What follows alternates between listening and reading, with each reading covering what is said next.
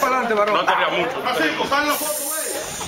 Primeramente le damos las gracias a Dios por este día tan especial que se ha hecho realidad esta petición que le hicimos al ayuntamiento municipal de que nos conceda los tubos para ponerle el agua, ya que tenemos aproximadamente 18 años.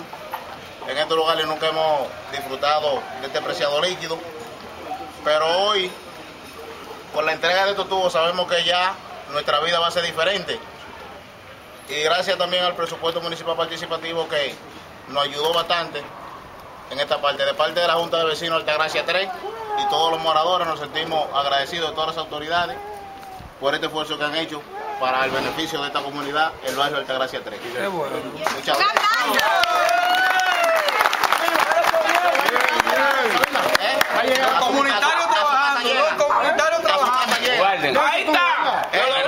está grabando.